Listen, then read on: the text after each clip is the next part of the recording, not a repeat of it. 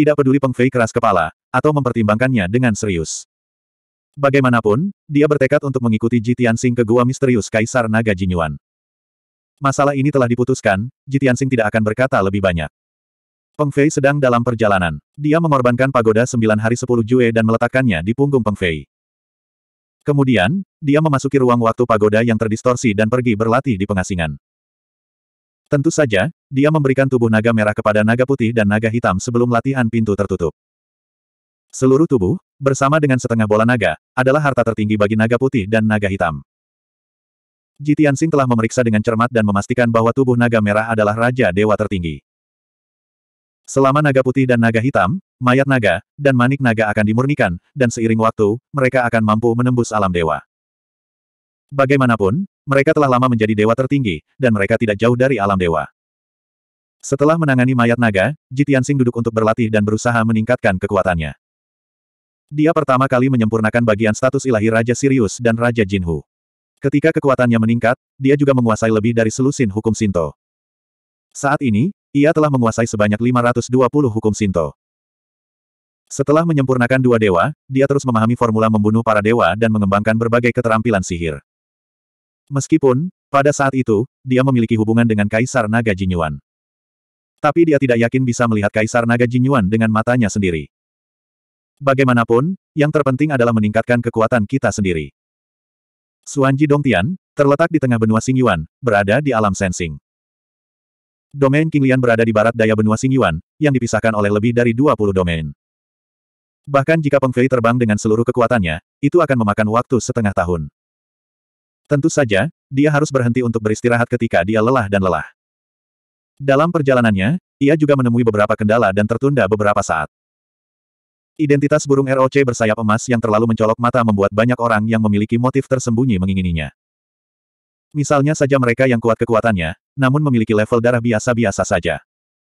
Mereka ingin merebut Peng Fei, memurnikannya, melahap dan merebut darah Jin Pengnya. Ada juga beberapa monster kuat dan binatang buas yang hidup di alam liar, ganas dan haus darah. Bagi mereka, kebanyakan monster adalah makanan biasa. Hanya bangsawan iblis seperti Jin Peng, Luwu, dan Qi yang malang yang merupakan makanan lesat. Kalau bisa ditangkap dan ditelan, manfaatnya besar. Ini berani kepada Peng Fei, pada dasarnya dia tidak mampu membayar yang kuat. Meskipun kekuatan beberapa monster dan dia tidak jauh, tetapi dalam kelompok aksi. Peng Fei sangat tertekan karenanya, dan juga mengalami bahaya dan krisis yang besar. Awalnya, dia ingin menelepon Ji Tianxing untuk meminta bantuan. Dengan kekuatan Ji Tianxing yang kuat, Raja Iblis dan monster kuat itu menjadi rentan. Namun Peng Fei mengetahui bahwa Ji Tianxing sedang berlatih dalam pengasingan dan tidak boleh diganggu. Selain itu, dia juga ingin membuktikan kepada Ji Tianxing bahwa dia bukanlah beban dengan kekuatan yang lemah. Dia juga bisa menyelesaikan segala macam masalah dengan kekuatan, bakat dan kebijaksanaannya. Ternyata Peng Fei melakukannya. Tidak peduli saat menghadapi Raja Iblis, atau sekelompok monster, dia bisa tetap tenang dan tenang, dan dengan cepat memikirkan cara keluar dari bahaya. Meskipun demikian, beberapa metode sangat rumit dan memakan waktu lama. Namun dengan kebijaksanaan dan berbagai cara yang dimilikinya, ia berhasil menghindari bahaya dan keluar dari bahaya. Meskipun, setelah empat atau lima kali berbahaya, dia terluka parah. Namun hatinya bangga dan puas. Dengan cara ini, setengah tahun yang semula dapat mencapai domain bintang dewa, akhirnya berubah menjadi tujuh bulan penuh. Dalam tujuh bulan terakhir, Peng Fei telah melintasi separuh benua sumber bintang, mengalami berbagai krisis berbahaya, dan telah berkembang pesat. Ji Tianxing telah berlatih pengasingan selama 29 tahun dalam ruang waktu yang terdistorsi. Selama 29 tahun ini, pemahaman dan kendalinya terhadap formula membunuh para dewa mencapai tingkat yang lebih tinggi. Di saat yang sama, kekuatannya juga terus meningkat. Dia menerobos lima aspek Sen Wangjing dan mengkonsolidasikan fondasi Sinto. Alam surgawi sangat luas. Suanji Dongtian adalah sejenis surga yang telah dilestarikan pada zaman dahulu. Secara alami tidak berada di daratan dan hutan, tetapi tersembunyi di ruang dengan derajat yang berbeda-beda, dengan pintu masuk di atas langit. Sore ini, matahari terbenam. Burung batu bersayap emas terbang di atas lautan awan seperti kilat dan terbang menuju Gunung Tianhe. Sua. Orang awam, meskipun mengetahui keberadaan gua misterius tersebut, tidak akan mengetahui di mana pintu masuknya. Untungnya, Ji Tianxing mengetahui bahwa pintu masuk Gua Suanji berada di kedalaman Gunung Tianhe. Semakin dekat ke Gunung Tianhe, suasana hati Peng Fei menjadi semakin tegang, dan ada juga jejak rinduan dan harapan. Dia sudah melupakan rasa takut pergi ke Gua Suanji selama tujuh bulan sebelumnya. Kini, Menjelang tujuan, kegelisahan dan rasa kagum yang terpendam di lubuk hatiku kembali menyeruak. Tuan, gua misterius macam apa itu? Akankah ada banyak penjaga, dan ada banyak dewa kuat yang menjaga? Para penjaga dan dewa yang tinggal di Gua Suanji untuk mengabdi pada Kaisar Naga Jinyuan pasti sangat bangga. Akankah kita ditolak, dan diusir jika kita pergi bertemu seperti ini? Ini akan tiba di Gua Suanji. Mengatakan bahwa Anda tidak gugup adalah salah. Nada suara Peng Fei penuh keraguan dan kekhawatiran, dan kepercayaan dirinya telah hilang. Jitian Sing berkata dengan acuh tak acuh, gua misterius adalah gua penguasa daratan. Tentu saja, akan ada banyak penjaga dan penjaga kuat yang menjaganya. Adapun apakah mereka Sombong atau tidak, mereka belum melihatnya. Dengan mata kepala sendiri, siapa yang tahu? Tapi bagaimanapun juga, kita harus memiliki kesempatan untuk bertemu dengan tulus. Peng Fei terdiam sejenak, dan tiba-tiba teringat sesuatu. Dia dengan cepat bertanya, Tuan, saya mendengar bahwa latar belakang identitas Anda tidak sederhana. Karena Anda telah melihat Kaisar Naga Jinyuan, latar belakang Anda menunjukkan bahwa Anda memenuhi syarat untuk menghubungi Kaisar Naga Jinyuan. Dalam hal ini, anda harus mengambil inisiatif untuk melaporkan Anda identitas dan latar belakang, dan Anda seharusnya dapat melihat Kaisar Naga Jinyuan. Jitian Sing terdiam, dan matanya sedikit rumit. Dia berpikir dalam hati, jika Laolong datang ke sini secara langsung, dia pasti bisa membawaku ke gua misterius dan melihat Kaisar Naga Jinyuan. Namun setelah seribu tahun, saya bertanya-tanya apakah hubungan antara Laolong dan Kaisar Jinyuan masih sama seperti dulu. Bagaimana kabarnya, Peng Fei? Melihat Jitian Sing diam, langsung menebak jawabannya, matanya menjadi semakin redup.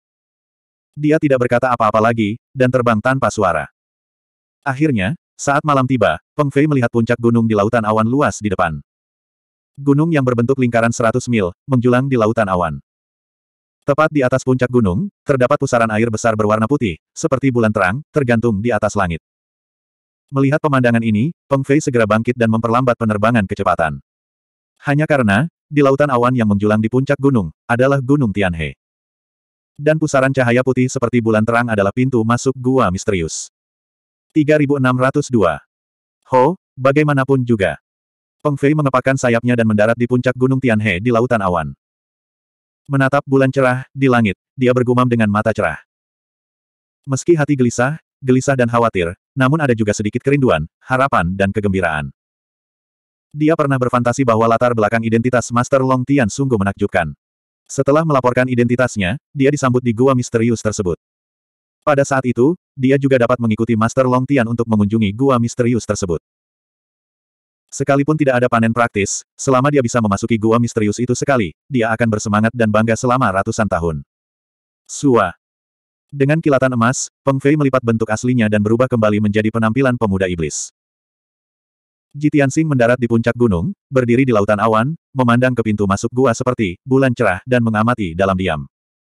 Meskipun begitu, dia bertemu dengan Kaisar Naga Jinyuan. Tapi dia juga datang ke Gua Suanji untuk pertama kalinya. Di masa lalu, dia hanya mendengar dewa lain mengatakan betapa gua misterius itu cemerlang dan megah.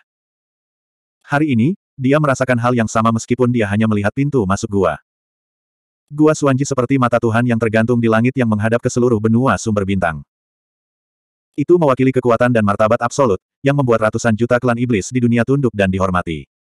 Peng Fei melihat ke pintu masuk Gua Suanji. Dia juga dikejutkan oleh keluasan dan kekaguman di hatinya. Saat mereka merasakan perasaan yang mendalam, beberapa cahaya ilahi terbang dari lautan awan dan mendarat di puncak Gunung Bangau. Sua, Sua Sua. Mereka adalah empat dewa iblis dengan baju besi emas dan tombak di tangan. Keempat pria itu berasal dari ras yang berbeda, tetapi mereka semua adalah pria parubaya dengan penampilan dingin dan rasa kagum dan kagum. Jitian Sing diam-diam menjelajah dengan akal ilahi, dan menemukan bahwa mereka berempat adalah dewa yang unggul. Terlebih lagi, semuanya adalah delapan tingkat kerajaan ilahi. Orang-orang kuat ini, ditempatkan di mana saja di benua sumber bintang, adalah keberadaan seorang penguasa, jauh lebih dari 99% master domain. Siapa yang datang? Sebutkan.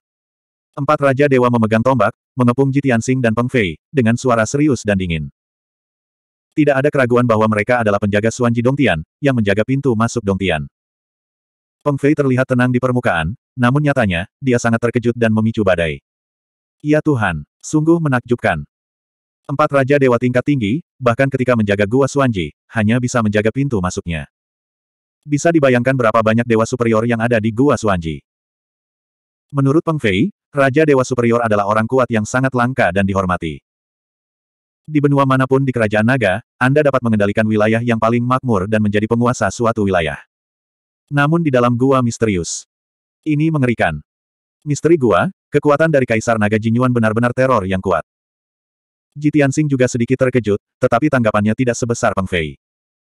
Dia melirik keempat dewa atas, menundukkan tangannya dan berkata dengan tenang, di langit naga bawah, ayo untuk bertemu Kaisar Jinyuan. Keempat raja semuanya mengerutkan kening, dan sedikit rasa jijik dan ketidakpedulian muncul di mata mereka. Itu nama yang aneh. Aku belum pernah mendengarnya sama sekali. Seorang anak kecil yang tidak memiliki nama di dunia ingin bertemu dengan Kaisar Naga. Tanpa persetujuan dari manajer utama. Tidak ada yang bisa memasuki gua misterius itu. Petik 2. Di bawah mahkota Kaisar Naga, tidak ada kucing dan anjing yang bisa ditemui. Kamu boleh pergi. Sikap keempat Raja Dewa sangat menghina dan mendominasi, dan mereka akan mendesak Jitian untuk berjalan.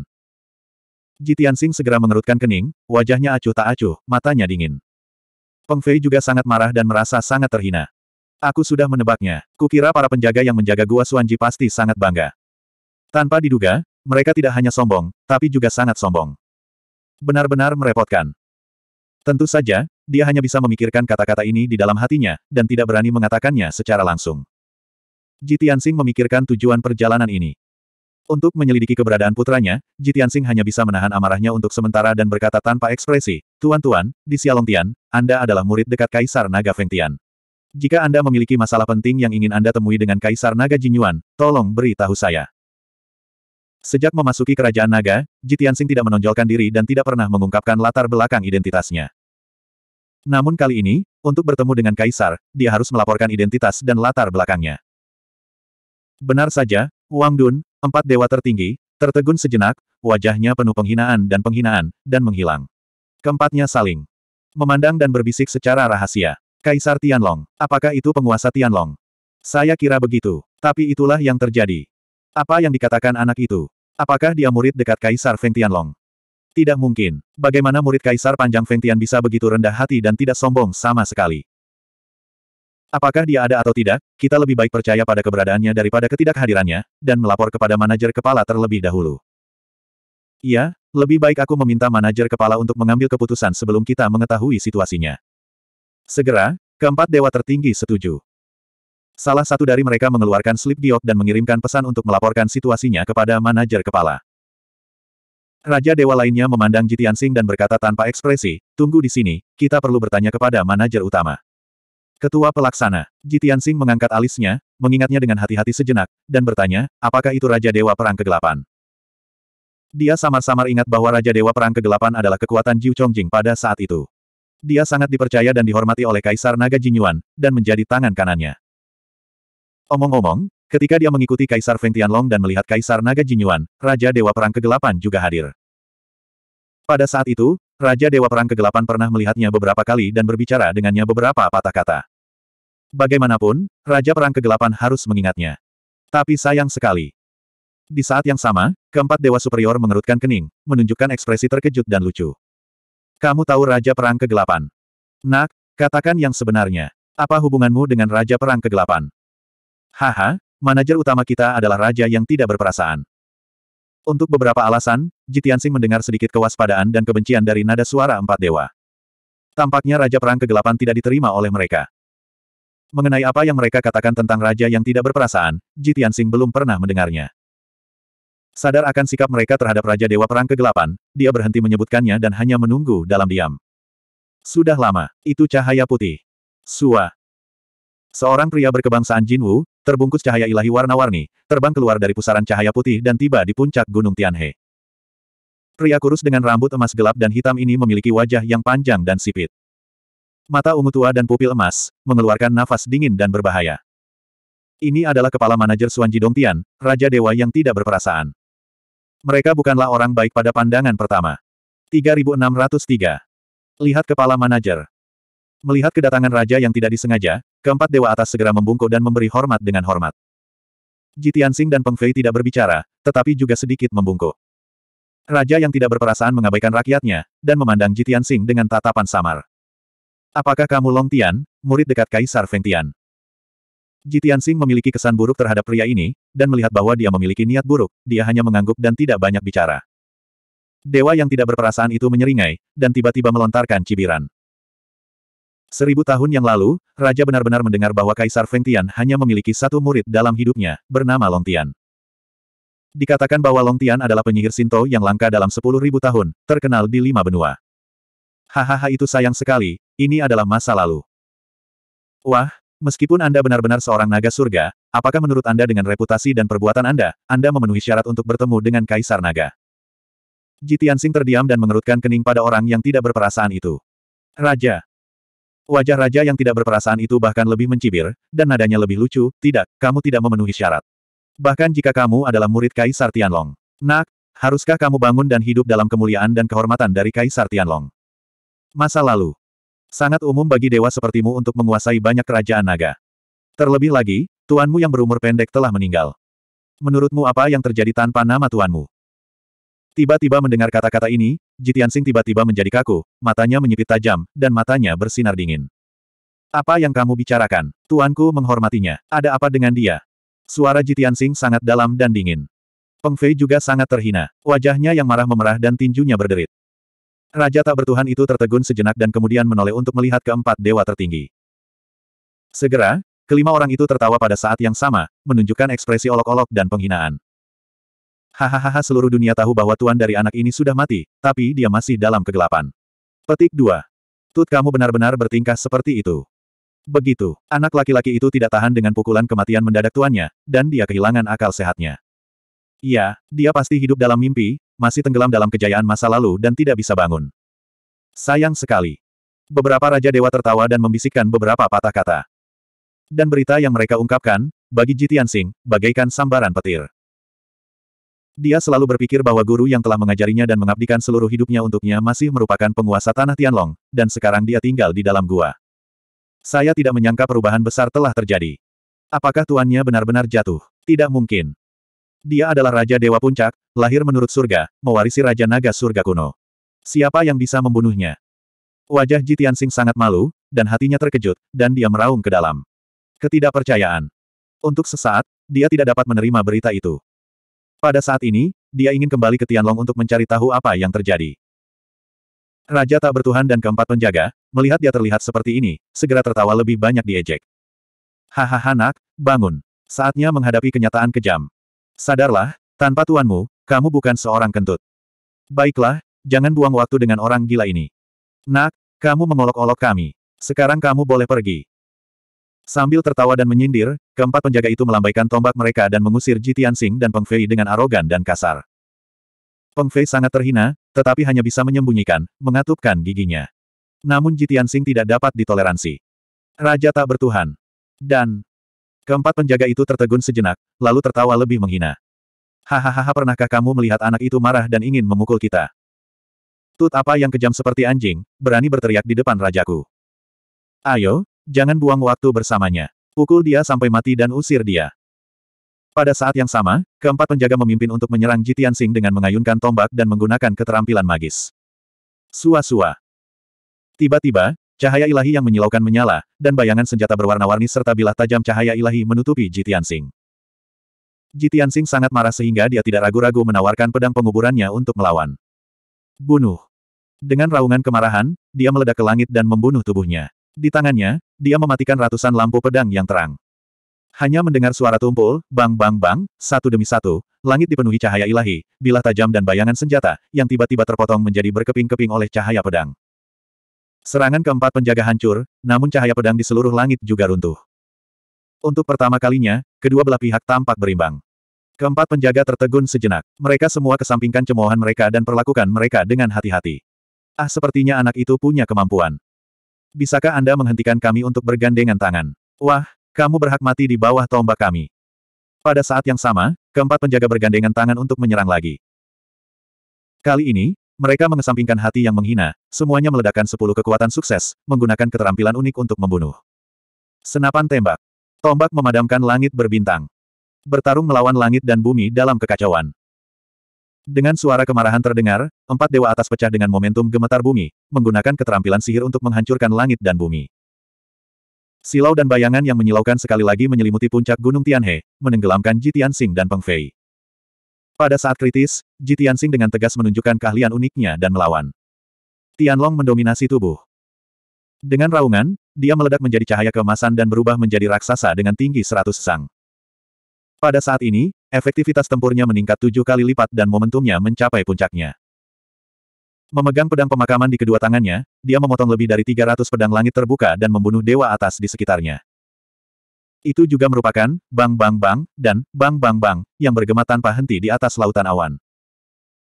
Cahaya dan bayangan dari skill Dewa Langit bertabrakan dengan pedang pembuka langit dan runtuh serta terfragmentasi pada saat yang bersamaan. Serangan gabungan dari empat dewa atas dibubarkan lagi oleh Ji Tianxing. Tiba-tiba, wajah keempat dewa itu tidak terlalu tampan, sedikit terhina dan cemberut. Di mata mereka, Long Tian, yang kehilangan perlindungan Kaisar Feng Tian, adalah orang gila dan sia-sia. Namun ternyata mereka berempat tak kuasa menahannya. Bukankah ini berarti mereka tidak sebaik orang gila dan sampah? Raja yang tidak berperasaan telah menyaksikan perang di satu sisi, mengandalkan identitasnya, dan tidak berniat mengambil tindakan. Ketika dia ingin datang dan menyelesaikan hari naga biasa, empat penjaga sudah cukup, dan dia tidak perlu bertarung sama sekali.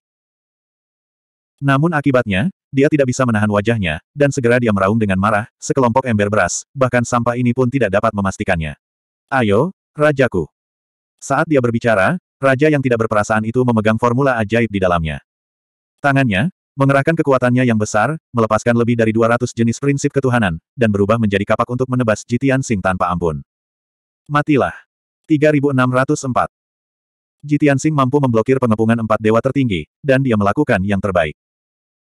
Ketika Raja Dewa yang tidak berperasaan menyerahkan serangan habis-habisan, dia tidak akan memiliki kekuatan cadangan untuk melawan dan melawan. Boom! Dalam suara yang memekakan telinga, cahaya pedang itu terbelah menjadi beberapa bagian. Cahaya Dewa Pelindung Tubuh Ji Tianxing juga diledakkan oleh kapak pembuka langit dan memercikkan pecahan cahaya Dewa Langit. Kekuatan ilahi yang menghancurkan langit dan bumi akan memotongnya terbalik hingga terbang dan jatuh hingga 100 mil jauhnya. Pria itu masih di udara, dan darah mengucur dari mulut dan hidungnya. Baju besi raja juga terpotong menjadi retakan besar, dan kekuatan sihir bocor dengan liar. Hanya dengan gerakan ini, Jitiansing dilukai oleh raja. Kekuatan kapak pemecah langit terlalu mengerikan. Hanya Yu Wei yang mencapai puncak Gunung Bangau, dan membelah puncak gunung menjadi dua, membuang debu ke seluruh langit. Dengan ledakan suara, ledakan Gunung Tianhe runtuh di tempat, menggulingkan banyak batu besar. Peng Fei juga menderita akibat bencana tersebut, akibat gempa susulan dari ledakan tersebut, dan terluka parah hingga terbang keluar. Dia memiliki lebih dari selusin luka di sekujur tubuhnya. Lengan dan kaki kirinya patah. Ada luka sepanjang setengah kaki di dadanya. Tulangnya terlihat, dan jantungnya hampir terluka. Jatuh hingga 100 mil jauhnya, dia berlumuran darah, sangat menderita. Untungnya, Ji Tianxing memblokir 90% kekuatannya. Dia hanya terkena gelombang berikutnya dan terluka parah. Jika tidak, dia akan terbunuh oleh kapak pemecah langit dan dipotong-potong di tempat. Batuk. Peng Fei terjatuh di lautan awan, terhuyung-huyung bangun, terbatuk-batuk, mulut dan hidungnya terus menyemburkan darah. Dia acak-acakan dan terlihat sangat malu, tetapi terlepas dari cederanya sendiri, dia buru-buru mencari sosok Ji Tianxing. Melihat Ji Tianxing di kirinya 20 li, baju besinya rusak dan jubah putihnya berlumuran darah, dia merasa sedih dan marah.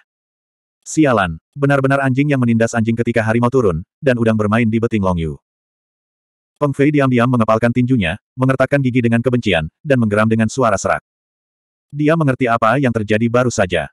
Long Tianben adalah murid dekat Kaisar Feng Tianlong. Dia memiliki status bangsawan dan status terpisah. Seperti Raja tak bertuhan dan empat penjaga, mereka tidak memenuhi syarat untuk dibandingkan dengannya. Mereka semua harus memberi hormat dengan hormat saat bertemu. Namun, Kaisar Feng Tianlong telah jatuh. Identitas Long Tian juga anjlok. Raja Tuhan dan keempat penjaga tidak memperhatikannya lagi. Baru pada saat itulah dia berani mengejek dan mengejek secara sembarangan. Peng Fei diam-diam memarahi di dalam hatinya, bajingan yang meremehkan orang lain. Namun, tidak ada ruang untuk pengembangan lebih lanjut.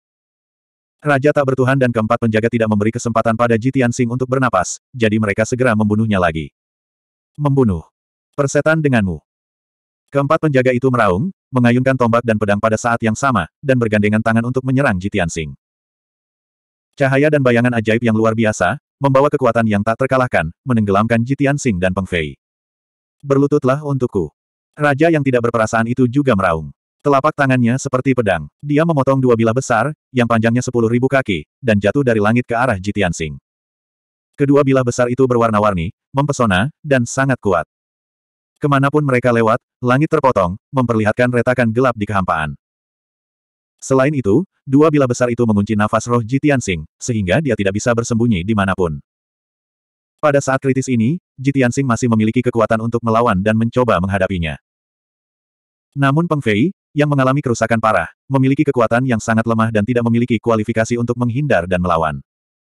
Meski hanya setelah pertarungan, itu bisa membunuhnya dalam hitungan detik. Belum lagi raja yang tidak bertuhan, bahkan empat tingkat delapan raja dewa atas, dapat dengan mudah membunuhnya. Memahami hal ini, hati Peng Fei sangat sedih dan marah, namun tak berdaya, matanya menunjukkan sedikit keputusasaan. Mau bagaimana lagi, perbedaan kekuatan dia dan beberapa Raja Dewa terlalu besar. Untungnya, Ji Tianxing juga memikirkan hal ini.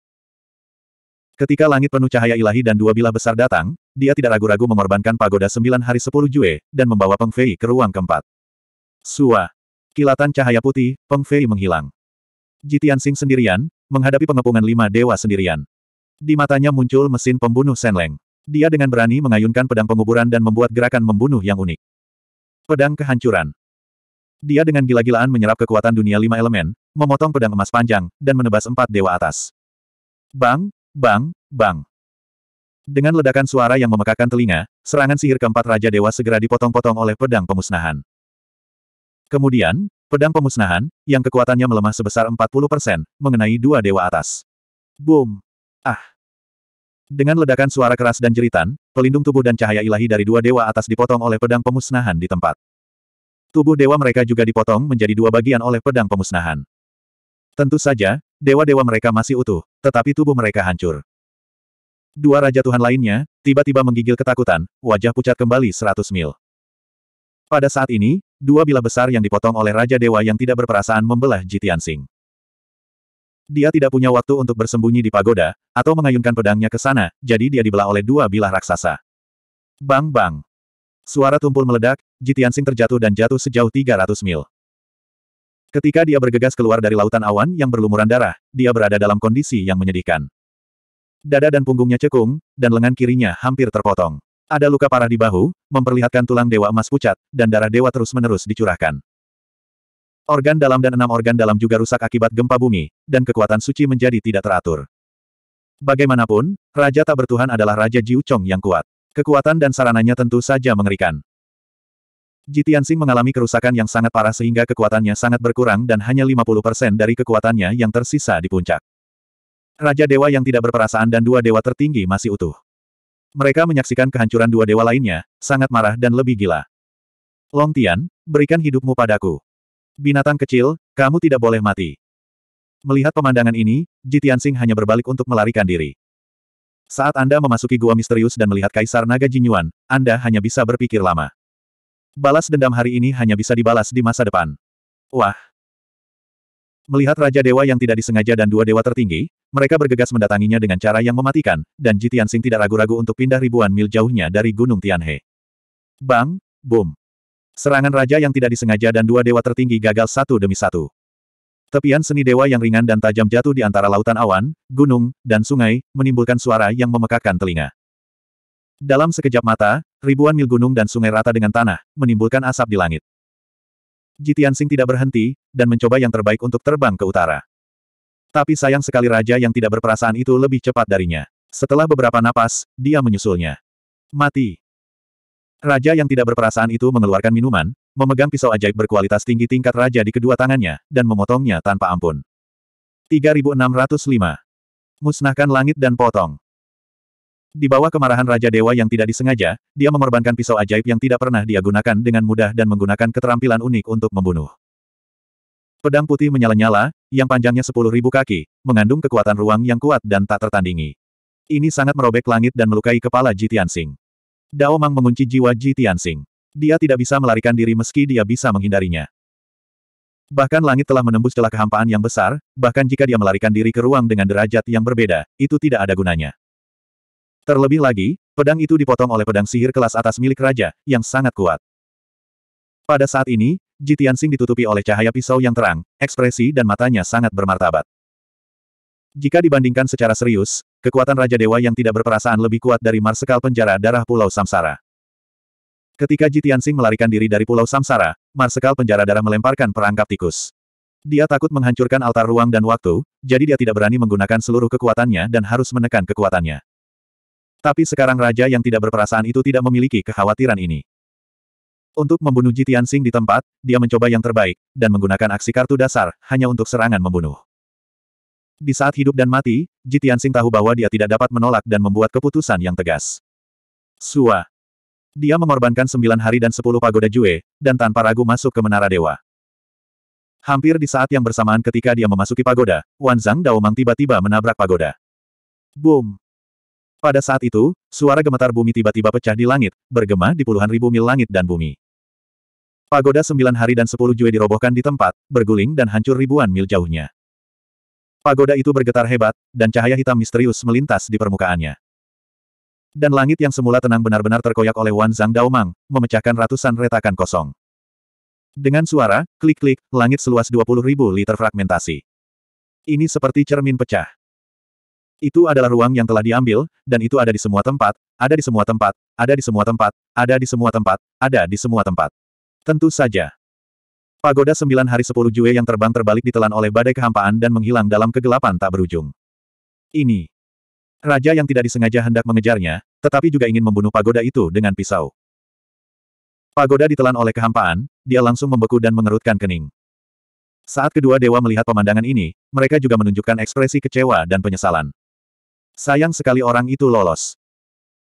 Tidak sayang sekali dia ditelan oleh badai kehampaan, dan dia pasti akan digantung menjadi terak oleh badai kehampaan, dan dia akan mati tanpa tempat untuk dikuburkan. Bahkan jika dia beruntung bisa bertahan hidup, dia juga akan hanyut ke dalam kehampaan yang tak ada habisnya, tidak ada bedanya dengan kematian. Kedua, Dewa atas berdiskusi, satu demi satu menyingkirkan pedang dan tombak mereka, dan semangat juang seluruh tubuh dengan cepat menghilang. Ham! Bocah murahan raja yang tak berperasaan itu mendengus dingin dan menyingkirkan pedangnya dengan wajah dingin untuk menenangkan kekuatan yang bergejolak di tubuhnya. Setelah beberapa saat, suara keras dari langit dan cahaya yang menghalangi langit berangsur-angsur menghilang. Di bawah kuasa hukum surga, langit yang terfragmentasi seluas 20 ribu mil secara bertahap dikembalikan ke keadaan semula. Semuanya tenang seolah tidak terjadi apa-apa. Raja yang tidak berperasaan membawa dua dewa tertinggi dan pergi dan kembali ke Gunung Tianhe. Ketika ketiganya kembali ke pintu masuk Gua Suanji, dua dewa atas yang telah dipotong menjadi dua mengerang kesakitan dan membawa sendan untuk mengobati luka mereka. Dua dewa lainnya yang tidak terluka memandang raja yang tidak berperasaan itu dan bertanya, Manajer kepala, apakah Anda ingin melaporkan masalah ini kepada Kaisar Naga? Untuk menjaga pintu masuk, mereka dihancurkan oleh pencuri jahat. Berapa kompensasi dan hadiah yang harus diberikan? Raja yang tidak berperasaan melirik mereka dan berkata tanpa ekspresi, jika Anda telah memberikan kontribusi, Anda pasti akan diberi imbalan. Adapun melapor kepada Kaisar Naga, itu tidak perlu. Bagaimana kami bisa mengganggu Kaisar Naga dengan masalah sekecil itu? Kedua dewa juga tahu bahwa di bawah mahkota Kaisar Naga, mereka sedang dalam proses penutupan dan melakukan yang terbaik untuk mencapai tingkat yang lebih tinggi. Retret penting seperti itu tidak boleh diganggu. Wilayah udara bersih, terletak di barat laut benua Xingyuan. Ada delapan wilayah terpisah dari alam sensing tempat Gua Suanji berada. Saat ini, tengah hari, matahari sedang menggantung di langit, dan dunia dipenuhi dengan nafas yang membara. Di tengah langit cerah, pegunungan di tengah langit cerah mengeluarkan aroma kayu hijau yang menyengat dan mengeluarkan awan biru muda serta kabut di pegunungan. Pegunungan yang penuh naik turun, ditutupi hutan perawan berwarna hijau tua. Ini adalah surga bagi ratusan juta monster dan binatang. Orang-orang yang memiliki waktu luang hanya dapat menjelajahi dan mencari harta karun di pinggiran pegunungan. Hanya para ahli dan orang kuat di atas alam Senjun yang berani memasuki pegunungan dalam untuk mencari bahan obat, hewan, dan harta berharga. Pada saat ini, langit biru tiba-tiba pecah, meledak menjadi lubang hitam besar. Boom! Dengan ledakan yang jelas, bayangan hitam sepanjang sepuluh zang terbang keluar dari lubang hitam dan jatuh dari langit di atas gunung. Boom! Bayangan gelap, dengan dampaknya yang mengerikan, meruntuhkan gunung di tempat dan memercikkan debu di seluruh langit. Suara yang memekakkan telinga bergema di pegunungan. Gelombang kejut yang dahsyat menyebar ke segala arah, menyapu lautan hutan sejauh 3000 mil menjadi reruntuhan. Gerakan yang begitu menakjubkan, sekitar 20 ribu burung dan hewan, ketakutan. Akal mereka dan melarikan diri dalam kebingungan. Setelah waktu yang lama, asap dan debu tersebar di seluruh langit. Baru kemudian kita dapat melihat sebuah pagoda gelap dan misterius tergeletak di reruntuhan Loes. Pagoda ini memiliki sembilan lapisan, sederhana dan tidak canggih, dengan cahaya hitam samar. Ia tergeletak dengan tenang di reruntuhan, separuhnya tertancap di tanah, dan setelah sekian lama masih tak bergerak. Sekitar setengah seperempat jam kemudian, masih tidak ada pergerakan di dalam pagoda. Tapi pada saat ini, empat cahaya ilahi terbang di langit, dan mereka datang ke reruntuhan di atas secepat kilat. Sua, sua sua. Empat lampu berhenti di atas reruntuhan. Cahaya ilahi menyatu untuk menampakkan sosok empat klan iblis. Penampilan keempat klan iblis ini sangat mirip. Mereka tinggi dan besar, dan mulutnya sangat besar. Mereka terlihat jelek. Di antara mereka, ada tiga pria dan satu wanita, dan dua pria parubaya yang dipimpin oleh mereka adalah kekuatan Raja Dewa berikutnya. Kedua pria itu mengenakan pakaian hitam dengan baju besi berlumuran darah, dan tubuh mereka dipenuhi rasa tirani. Dua pemuda lainnya, seorang wanita dan seorang pria, adalah kekuatan dari kerajaan Dewa Atas. Mereka semua mengenakan baju besi merah. Mereka menghormati dua pria berbaju hitam. Mereka harus menjadi murid atau generasi muda. Keempatnya berdiri di langit, melihat ke bawah ke reruntuhan di bawah, melihat sekeliling dengan mata mereka. Di situlah seharusnya. Aneh, apa yang turun dari langit dan menyebabkan gangguan sebesar itu? Apakah ini harta karun dari surga? Betapa beruntungnya kita. Lihat, sepertinya ada pagoda di reruntuhan. Teriak wanita muda itu, dan tiga mata lainnya tiba-tiba bersinar, menunjukkan mata yang bersemangat dan serakah. 3606. Benar saja, ada pagoda. Itu pagoda hitam. Sangat kuat, kelihatannya agak misterius. Hahaha, benar-benar nikmat surga bagi kami. Kami telah bertemu dengan harta karun aneh dari surga. Tiga orang lainnya mengikuti mata wanita muda itu dan menemukan pagoda hitam di reruntuhan. Tiba-tiba, ketiga orang itu heboh hingga gila, darah heboh mendidih. Meski belum berada dekat dengan pagoda, mereka belum mengamati dan mengidentifikasi secara cermat tingkatannya. Tetapi mereka semua memiliki empat kata di benak mereka, berpikir bahwa anugerah surga bukanlah produk cacat. Ini sangat jarang. Jangan terpesona. Ayo pergi dan lihat. Ya, lihat pagoda itu. Dewa macam apa pagoda itu? Dua pria lapis baja hitam pertama, yang pertama mendarat di reruntuhan, jatuh di samping pagoda. Dua orang muda segera mengikuti, mengitari pagoda yang gelap, mata menyala. Nafasnya misterius dan tertutup. Ini tidak biasa. Pagoda ini tidak hanya misterius, tetapi juga sangat sederhana. Ia memiliki sejarah setidaknya 230 ribu tahun. Apakah ini dewa zaman kuno? Dengan pengalaman dan wawasan raja, pagoda ini setidaknya merupakan harta karun kelas atas. Hahaha sekarang kita sudah maju. Pagoda Raja kelas atas. Keempatnya bersemangat dan bersemangat. Terutama, kepala dua pria kulit hitam, mata keserakahan dan kegembiraan, atas kata-kata itu. Adapun orang-orang muda di alam dua dewa dan raja, mereka tahu bahwa mereka tidak memenuhi syarat untuk menyentuh pagoda, dan mereka berdua merasa menyesal dan iri. Tetapi mereka tahu bahwa setelah kedua diaken mendapatkan menara, mereka pasti akan mendapat manfaat darinya. Nanti, dengan dengan bantuan dua diakon, status mereka dalam marga ditingkatkan, dan mereka juga dapat memperoleh berbagai manfaat, dengan cara ini, penyesalan kedua pemuda tersebut semakin berkurang. Diakon berarmor hitam di sebelah kiri memandang ke arah pria berarmor hitam di sebelah kanan dan bertanya. Pria berarmor hitam, yang dipanggil melupakan cuan, menepuk dadanya dengan percaya diri dan berkata, Changji, jangan lupa bahwa saya juga pandai memurnikan peralatan, dan saya tahu betul kualitas artefaknya. Saya bilang pagoda itu setingkat raja, tapi itu hanya perkiraan konservatif. Diakon. Changji membelalakan matanya dan berseru, apa? Setidaknya itu level raja. Maksudmu apakah pagoda ini tingkat raja? Diakon yang melupakan cuan mengangguk sambil tersenyum, tentu saja, itu mungkin. Ketika kita menyempurnakannya, kita akan mengetahui jawabannya dengan kembali ke gua pemakan bintang untuk mempelajarinya dengan cermat. Diakon Changji menggosok tangannya dengan penuh semangat dan berkata, tunggu apa lagi? Ayo kita ambil secepatnya, agar tidak mengalami mimpi malam yang panjang. Gerakan, yang bisa dilihat dari jarak puluhan ribu mil. Jika ditemukan oleh orang kuat lainnya, itu akan menimbulkan masalah lagi. Saat dia berbicara, Diakon Changji mengulurkan tiga cakar jeleknya, membuat darah merah tua terang, dan membungkus pagoda yang gelap itu, dan ingin menyimpannya. Namun, pagoda tersebut tertanam di dalam tanah dan tetap tidak bergerak tidak peduli seberapa keras dia mengerahkan kekuatannya. Kamu bahkan tidak bisa mengangkat pagoda karena prestasimu. Lupakan cibiran meremehkan si Cuan, juga mengulurkan tiga cakar, melepaskan cahaya darah yang bergejolak dan kuat, untuk mengangkat menara dewa. Namun sayang pagoda tersebut masih stabil seperti gunung Tai dan tidak ada respon. Melupakan Cuan tiba-tiba dipenuhi rasa malu, mesin panjang tanpa ampun mengejek ironi. Namun kedua dewa muda itu menahan senyum dan mengejek mereka. Ham, aku tidak percaya, ayo kita bawa bersama. Sambil menahan amarahnya, dia meminta Changji membantunya. Keduanya menampilkan kekuatan magis penangkapan, menggunakan cahaya darah untuk membekukan cakar binatang besar, memegang erat menara dewa kegelapan, dan pada saat yang sama mengirimkan kekuatan untuk mengangkatnya. Situasi memalukan terulang kembali, pagoda gelap masih tidak bergerak. Melupakan Cuan dan Changji mengerutkan kening pada saat yang sama, ekspresi mereka malu, tetapi mereka juga menunjukkan tatapan bingung. Ada apa? Tidak peduli seberapa tinggi pagoda ini, kita tidak bisa mengangkatnya. Saya sudah memeriksanya. Tidak ada susunan segel di sini, dan tidak ada kekuatan untuk memenjarakannya. Tanpa pemilik, orang kuat mana yang sudah lama membuatnya marah. Saat mereka mengerutkan kening dan merenung, pagoda gelap itu tiba-tiba menghilang. Sua. Kilatan cahaya, Pemuda naga berdarah berjubah putih, tiba-tiba muncul di reruntuhan. Changji, melupakan Cuan dan kedua dewa muda itu semuanya terkejut. Tanpa sadar, keempat pria itu mencabut pedang mereka dan memandang naga muda itu dengan waspada, siap menyerang kapan saja. Tidak ada keraguan tentang hal itu. Kebangsaan naga muda ini, berlumuran darah dan rambut acak-acakan, adalah Ji Tianxing. Ketika keempat klan iblis memandangnya dengan kewaspadaan penuh, dia juga melihat orang-orang dan situasi di sekitarnya, dan matanya masih sedikit bingung dan bahagia. Bukankah menara itu dihancurkan oleh raja yang tidak berperasaan? Bagaimana saya bisa berada di sini? Apa yang ingin dilakukan keempat klan iblis ini? Mereka sangat jelek sehingga terlihat seperti klan Taoti.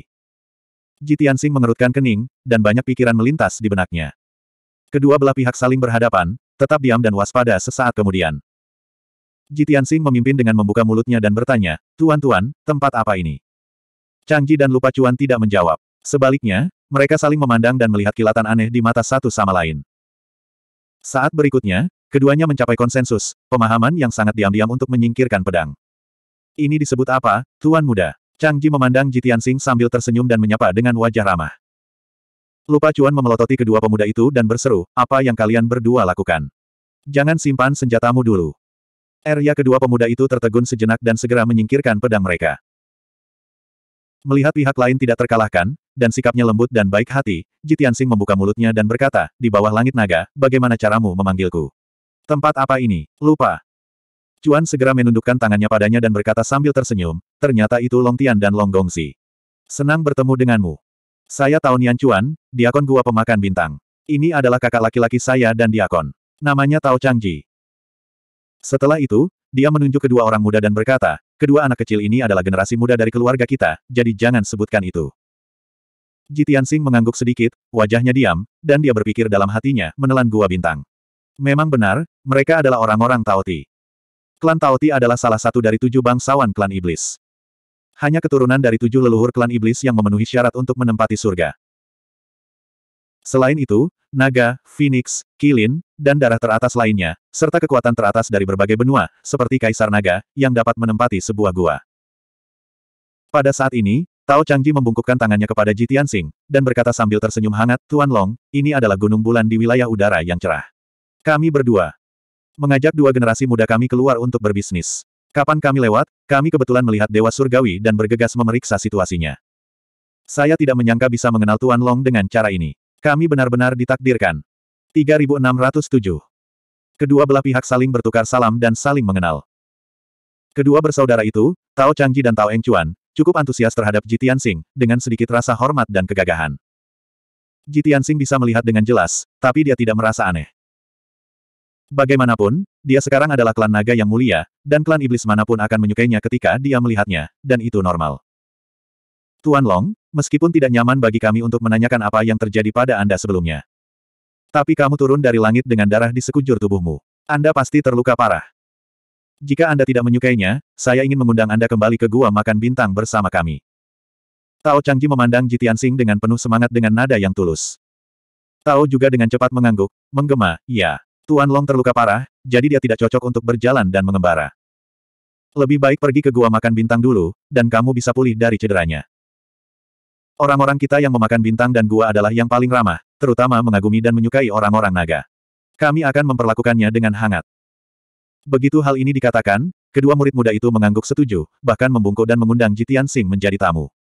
Telan bintang-bintang di dalam gua. Jitian Sing sedikit mengernyit, berpikir dalam hatinya, meskipun gua pemakan bintang pada tahun-tahun itu tidak terlalu bagus di kerajaan naga.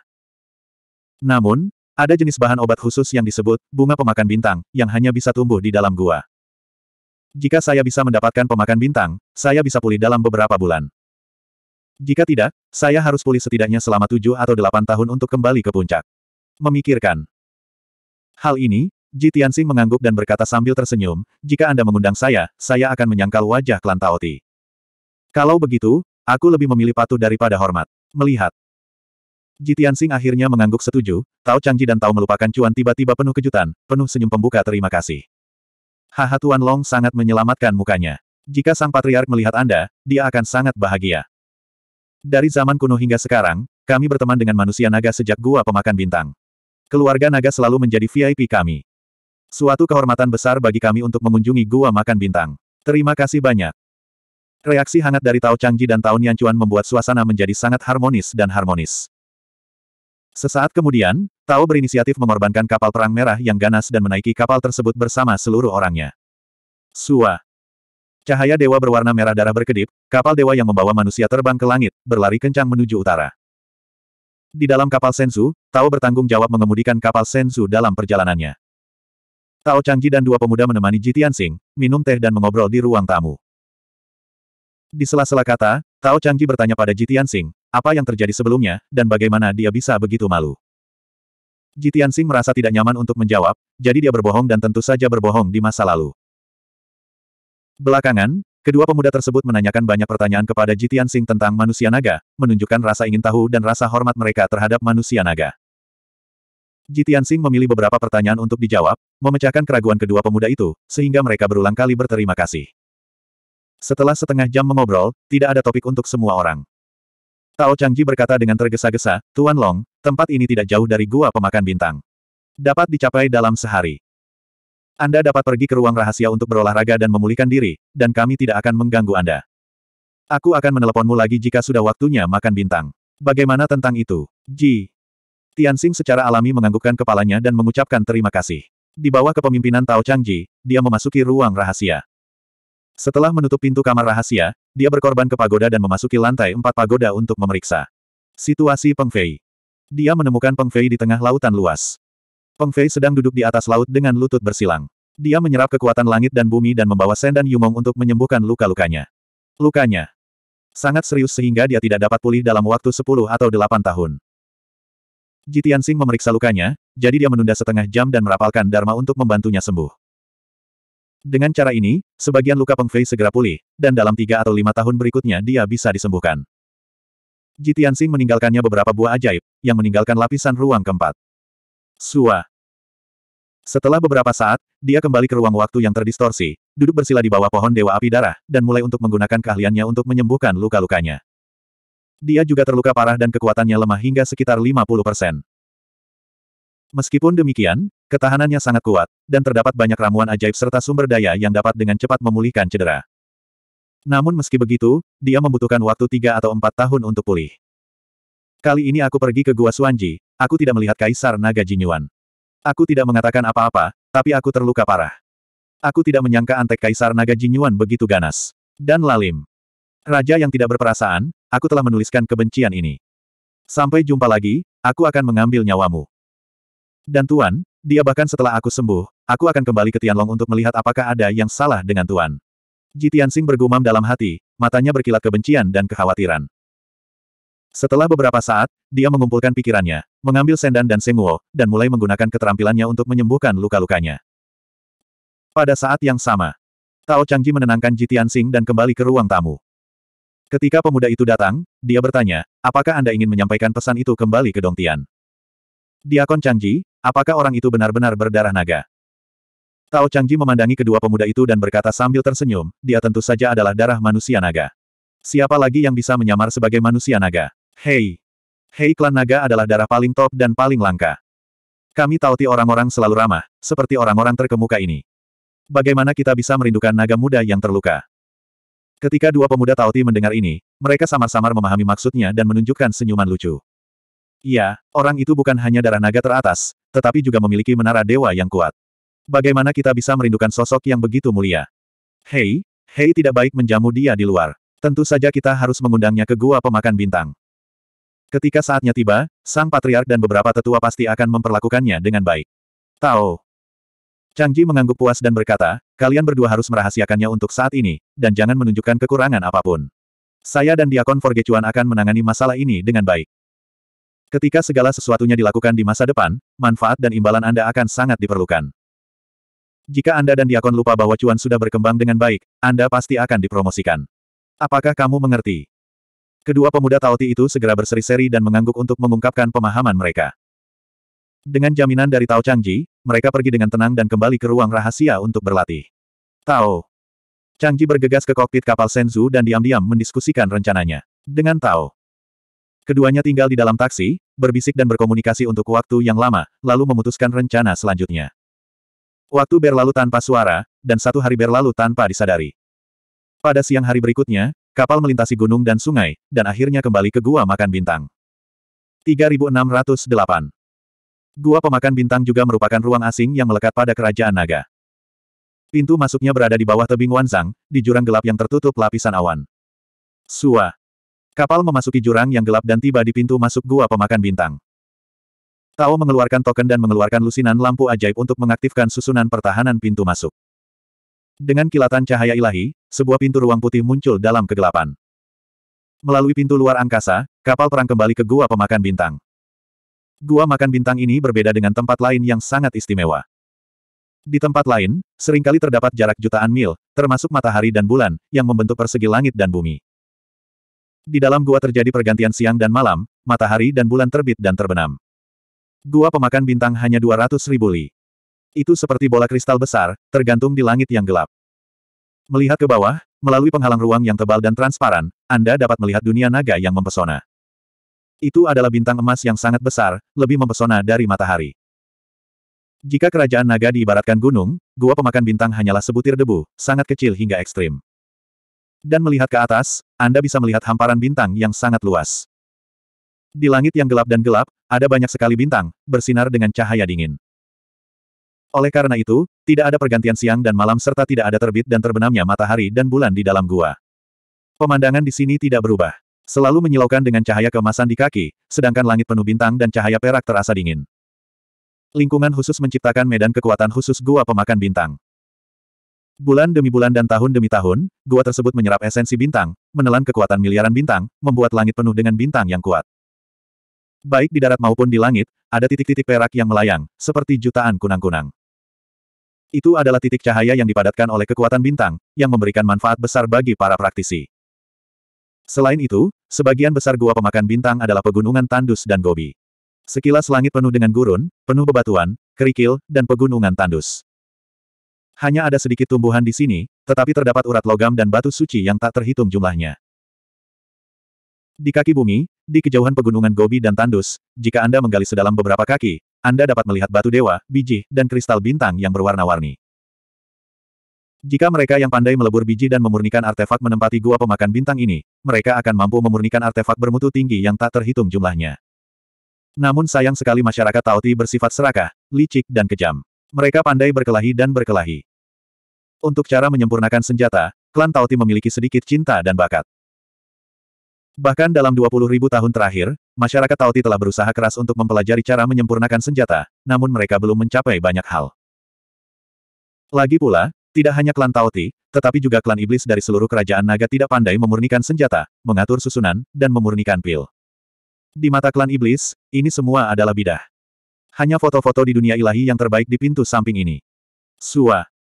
Tao, terbang di atas gurun dan gobi, terbang langsung ke kedalaman gua pemakan bintang. Sepanjang perjalanan, angin dan angin menyapu debu, meniupkan ratusan juta bintang, dan bintik-bintik cahaya berhamburan dan berkibar. Setelah terbang sejauh seratus ribu mil, kapal perang itu tiba di tengah gua pemakan bintang. Terdapat lahan terlantar yang luas, dataran datar, dikelilingi pegunungan yang menjulang tinggi. Orang Tauti tinggal di sini, membangun ratusan istana dan rumah, tersebar di gurun. Klan Iblis memperhatikan status dan inferioritas, yang dibedakan berdasarkan level darah dan kekuatan, menunjukkan level tinggi dan rendah di mana-mana. Ada lebih dari 600 istana dan rumah besar di gurun pasir. Padahal, rumah dan istananya terbagi menjadi empat lapisan. Di lingkaran luar rumah, hiduplah orang-orang Tauti dengan generasi terkecil dan kekuatan lemah. Kebanyakan orang yang tinggal di rumah Tauti menempati urutan kedua. Di istana lingkaran ketiga, ada Diaken, penjaga, dan murid klan Tauti. Sedangkan untuk lingkaran dalam keraton dibangun lebih megah dan sakral. Itu adalah kediaman Bapak Bangsa, para imam dan tua-tua. Sua. Kapal perang itu melintasi lingkaran luar rumah dan rumah berlantai dua, dan berhenti di atas istana pada lingkaran ketiga. Setelah itu, kapal perang tersebut mendarat di luar istana yang disebut, lupakan cuan. Tidak ada keraguan bahwa istana ini adalah kediaman eksklusif di akun Tao Nianchuan. Istana ini luasnya 10.000 meter persegi dan terbuat dari biji hitam, emas, dan merah darah. Meski begitu, pihak istana juga ingin menunjukkan kehikmatan dan gaya. Namun sayang sekali masyarakat Tauti selalu kasar dan buas, dan pandangan estetika mereka berbeda dengan orang biasa. Sekalipun istananya sangat besar, tidak terasa mewah dan indah. Sebaliknya, ini terlihat sederhana dan aneh. Melihat kembalinya kapal perang tersebut, empat penjaga berbaju merah tua terbang keluar istana untuk menemui fregat tersebut. Sua. Dengan kilatan cahaya, Tao Lupa Cuan memasang sencuan. Kerumunan itu segera muncul di gurun pasir dan berdiri di depan gerbang istana. Kedua pemimpin tersebut adalah Jitian Sing dan Peng Fei. Tao Nianchuan dan Tao Changji berdiri di kedua sisi dalam posisi mengiringi. Dua pemuda Tao Ti, mengikuti keempatnya, berdiri diam dan tidak banyak bicara. Selamat datang kembali, kedua diaken. Keempat penjaga lapis baja merah dengan cepat membungkuk untuk menyambut Jitian Sing dan Tao Nianchuan ke dalam istana. Setelah memasuki istana, Tao Nianchuan dan Tao Changji bertukar salam dengan Jitian Sing dan secara singkat memperkenalkan situasi gua pemakan bintang. Tentu saja, Keduanya memandang Peng Fei beberapa kali, dan juga menanyakan Ji Tianxing, identitas dan asal-usul Peng Fei. Ji Tianxing dengan santai mengatakan bahwa Peng Fei adalah pengawalnya. Tao Nianchuan dan Tao Changji mengangguk sambil tersenyum dan tidak banyak bicara. Selanjutnya, dua orang Ji Tianxing, Peng Fei mengatur akomodasi dan ruang rahasia masing-masing. Tuan Long, Anda bisa beristirahat di sini sebentar. Kami baru saja kembali, dan kami harus melapor kepada kepala keluarga dan tetua. Kamu tidak perlu terkekang. Jadikan saja ini rumahmu. Jika kamu butuh sesuatu, kamu bisa memberi tahu penjaga. Baiklah, kalau begitu kami tidak akan mengganggumu untuk istirahat.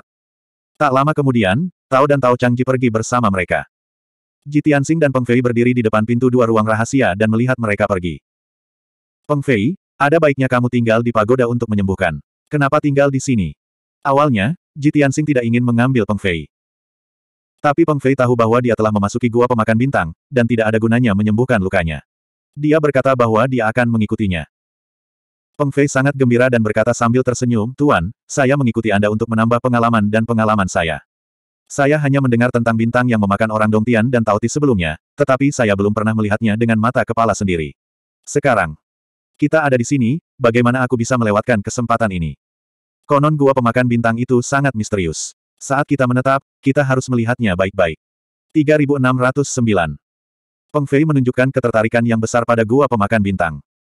Kalau bukan pendatang baru, tanpa izin orang Tauti, tidak nyaman berkeliaran. Dia tidak bisa menahan kegembiraannya dan melarikan diri ke gua pemakan bintang. Ji Tianxing cukup tenang dan tenang. Meski begitu, dia juga tertarik dengan bintang yang memakan orang Dongtian dan Taoti. Tapi dia lebih tertarik memakan bunga bintang, disusul urat dan batu keramat di mana-mana. Adapun orang Tao Ti, mereka harusnya berada di belakang. Tao Nianchuan dan Tao Changji ingin melapor kepada pemimpin klan Tao Ti. Diperkirakan tidak lama lagi, klan Tao Ti akan mengadakan jamuan makan untuk menyambut kita. Titik. Setelah bertemu dengan mereka dan mendapatkan izin mereka, kita akan mengunjungi gua makan bintang lagi. Ji Tianxing menepuk bahu Peng Fei dan membantunya menekan dengan penuh kegembiraan dan kegembiraan. Setelah itu, kedua pria itu memasuki ruang rahasia masing-masing dan pergi untuk menyembuhkan luka mereka. Cedera mereka sangat serius dan tidak akan pulih dalam waktu singkat. Langit gua pemakan bintang relatif tenang. Penyembuhan di sini tidak akan diganggu.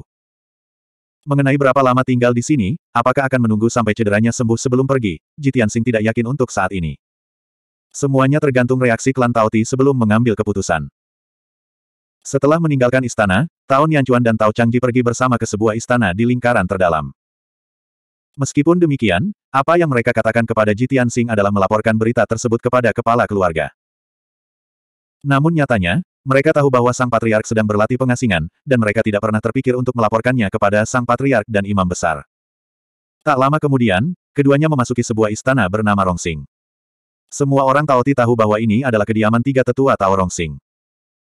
Di ruangan gelap, Tao Rongsing, mengenakan jubah ungu dan rambut merah panjang, terbaring di tengah susunan dewa. Cara budidaya Taoti sangat istimewa. Tidak seperti klan iblis lainnya, mereka berlatih berbaring, yang lebih nyaman untuk menyerap kekuatan ilahi langit dan bumi. Tentu saja, cara tercepat bagi orang Taoti untuk meningkatkan kekuatan mereka adalah dengan menggunakan bakat etnis dan kekuatan magis untuk melahap mereka. Melahap semua jenis sumber daya budidaya, bahan alami langka, harta bumi, pembuluh darah dan harta karun yang kuat, Del. Lihat tiga tetua. Tao dan Tao Changji memasuki ruang rahasia, berdiri berdampingan dan membungkuk kepada ketiga tetua. Ketiga tetua itu untuk sementara berhenti berlatih, membuka mata merah tua mereka dan melirik ke arah mereka. Apakah kamu sudah menyelesaikan pekerjaanmu? Ketiga tetua itu bertanya dengan acuh tak acuh. Tao Changji dengan cepat menjawab, laporkan kembali kepada tiga tetua bahwa itu telah selesai, dan itu dilakukan secara diam-diam dan benar. Semua orang yang tinggal di kota kuno itu telah dihancurkan. Beritanya tidak akan pernah keluar. Tidak ada yang bisa menebaknya. Bahwa kita yang melakukannya. Ketiga tetua itu mengangguk sedikit dan berkata dengan nada bermartabat, ingatlah bahwa kamu harus berhati-hati dan berhati-hati dalam melakukan sesuatu, dan kamu tidak boleh meninggalkan masalah atau pegangan apa pun. Tao melupakan cuan dan Tao Changji dengan cepat membungkuk dan memberi hormat dengan satu suara, patuhi instruksi ketiga tetua. Tetua ketiga menutup matanya, melambaikan cakarnya, dan berkata, jika tidak ada yang lain, kamu bisa kembali. Tao Niancuan dengan cepat melangkah maju, merendahkan suaranya dan berkata, Tiga tetua, kami masih punya kabar baik untuk diberitahukan kepadamu. Ketiga tetua itu segera menjadi tertarik. Mereka memandangnya dengan mata menyala-nyala dan bertanya, kabar baiknya apa? Beritahu aku.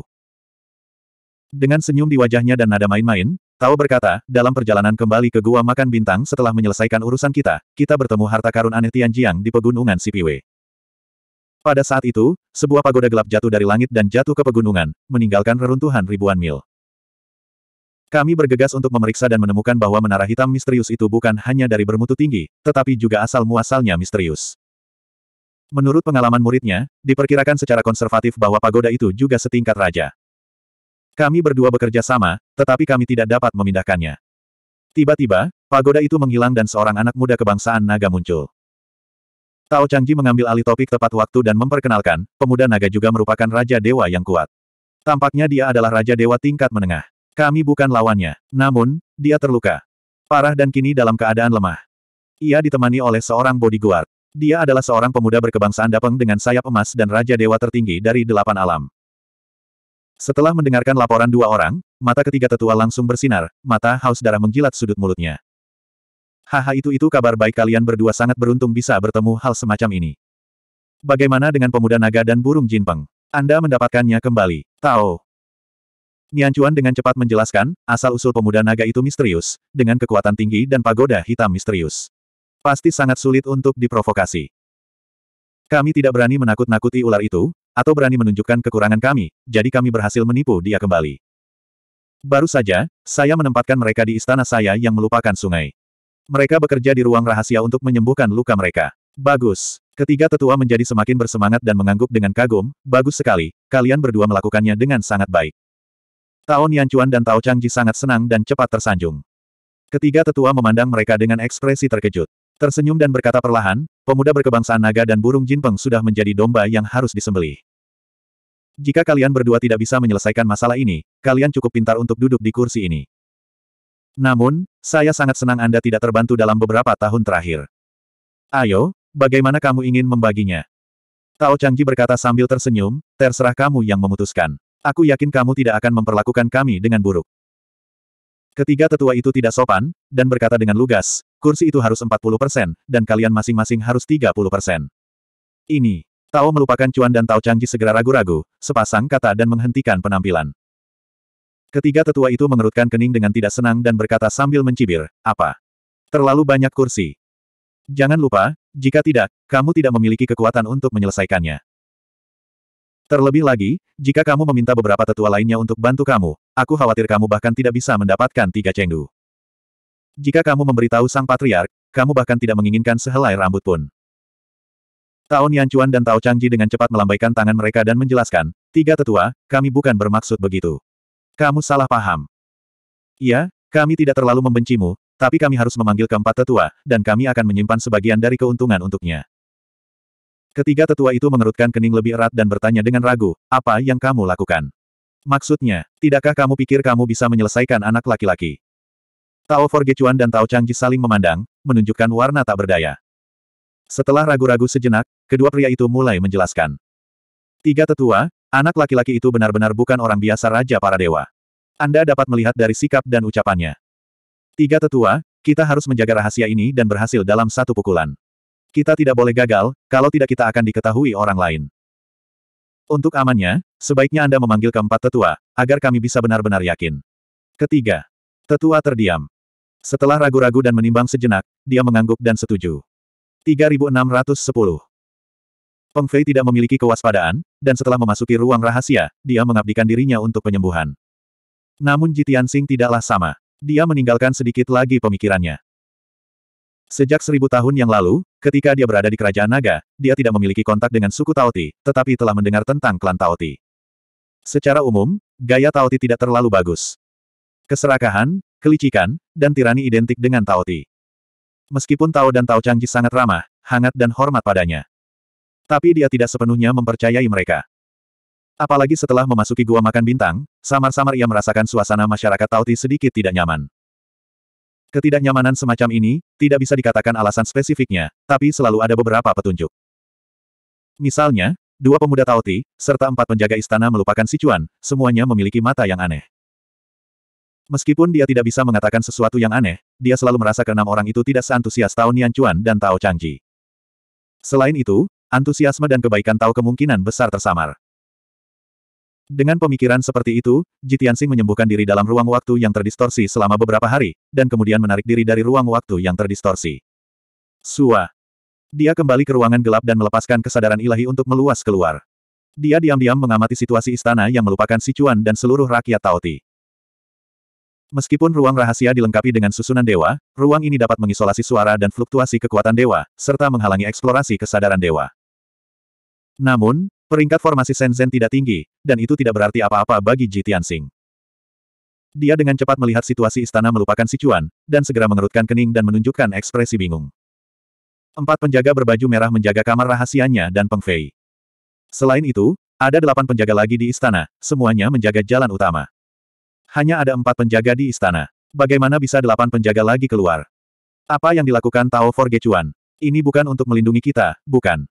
Apakah untuk pengawasan, tahanan rumah? Jitiansing menjadi curiga dan memutuskan untuk mencobanya nanti. Dia juga melepaskan akal sehatnya, meluas ke segala arah, dan diam-diam menjelajahi ribuan mil. Hampir seluruh masyarakat Taoti tinggal di gurun pasir. Ada lebih dari 600 istana dan rumah di kawasan ini. Ada lebih dari 6.000 orang yang tinggal di daerah ini. Semuanya adalah orang Taoti. Tentu saja, sebagian besar orang Taoti berada di lingkaran luar, hanya kekuatan Tuhan yang sejati dan alam dewa surga. Mereka yang dapat hidup dalam dua lingkaran pada dasarnya memiliki kekuatan kerajaan ilahi. Mereka adalah tuan muda berkebangsaan Taoti, yang sebagian besar dilatih atau pendamping. Di antara puluhan istana di lingkaran dalam, ada lebih dari 40 orang yang tinggal di istana tersebut. Di antara mereka, ada lebih dari 20 dewa tingkat rendah, 12 dewa menengah, dan 8 dewa superior. Yang paling berkuasa adalah dua raja dari sembilan alam, yang tinggal di istana paling suci dan khusyuk di tengahnya.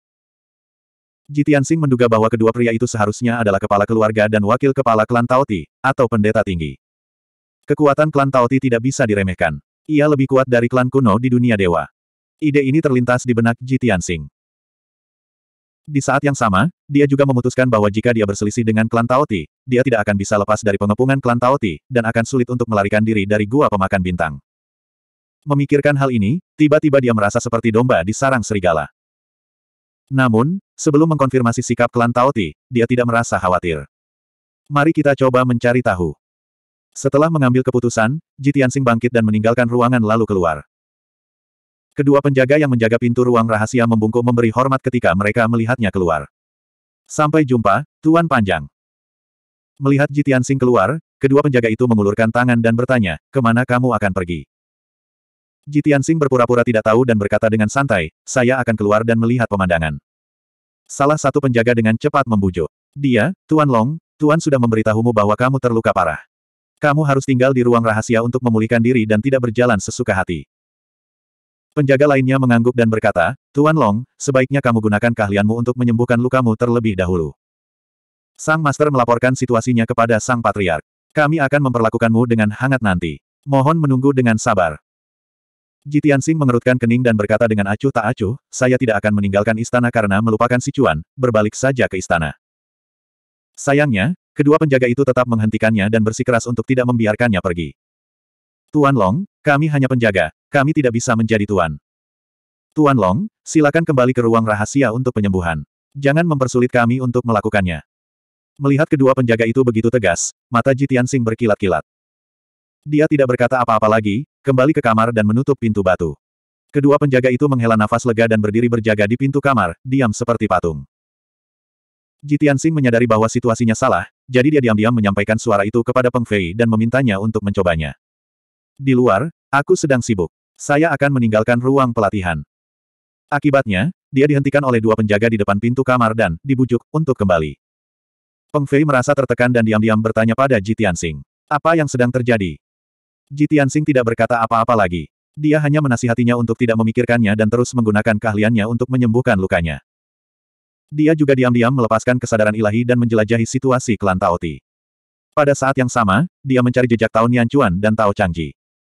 Dia ingin melihat apa yang sedang dilakukan kedua orang itu. Sudahkah Anda melaporkan situasinya kepada pemimpin klan Taoti? Alhasil, seperempat jam kemudian, dia menemukan jejak Tao Forgechuan dan Tao Changji. Kedua pria itu keluar dari istana bernama Rongsing, dengan senyum puas di wajah mereka. Mereka mengobrol dan tertawa sepanjang jalan. Jelas sekali, Suasana hati mereka sedang baik dan sepertinya menantikan sesuatu. Namun, mereka berkomunikasi secara diam-diam, dan Jitiansing tidak dapat mengetahui apa yang mereka bicarakan. Setelah meninggalkan istana Rongsing, Tao melupakan Cuan dan Tao Changgi kembali ke kediaman masing-masing, dan tidak ada kabar. Kembalinya Tao ke istana tidak mengganggu Jitiansing dan Peng Fei, tetapi menanyakan situasinya kepada penjaga. Mengetahui bahwa Jitiansing dan Peng Fei sama-sama mencoba keluar, mereka dihentikan oleh penjaga. Tao Forgechuan mengerutkan kening, dan keraguan muncul di matanya. Meskipun dia tidak mengatakan apa-apa, perubahan ekspresi halusnya terlihat oleh Ji Tianxing. Sesaat kemudian, Tao memberikan beberapa instruksi kepada penjaga dan kembali ke kamarnya untuk beristirahat. Ji Tianxing juga mengambil kembali kesadaran ilahinya dan tidak lagi menjelajahi situasi di luar. Dia dengan cepat memasuki ruang waktu yang terdistorsi dari pagoda sembilan hari dan sepuluh jue, dan mulai menggunakan kekuatannya untuk memulihkan lukanya. Dilihat dari situasi saat ini, kebaikan dan antusiasme Tao terselubung. Kebanyakan dari mereka berkomplot melawan aku dan Peng Fei. Kita tidak bisa menunggu kematian. Kita harus mengobati lukanya dan memulihkan kekuatan kita segera dan dengan segala cara yang mungkin. Tianxing memikirkan hal ini dalam benaknya, ekspresi dan matanya bermartabat. Dia dengan cepat mengeluarkan lusinan buah dewa, pil ajaib tingkat raja, dan segunung batu sumber, dan mulai menggunakan kekuatannya untuk melahap dan memurnikan.